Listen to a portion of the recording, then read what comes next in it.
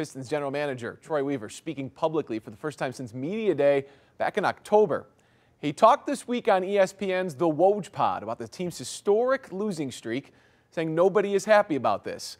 Weaver said Tom Gores is, quote, on him every day to fix it, and he plans to be aggressive. We want to be aggressive. And whether it's the draft, free agency, trade deadline, we want to be aggressive. Now, does it mean we're, we're going to make big deals? We don't know but we're going to be aggressive in trying to improve this roster. It is what it is. I mean, our record is what it is, and we have to improve the roster, and we'll we'll do that. We definitely want to add some veterans to the group to help fortify this, and adding those pieces to the group definitely be helpful. They have the Warriors tonight, who lost on a last-second buzzer beater last night. So, good luck out there.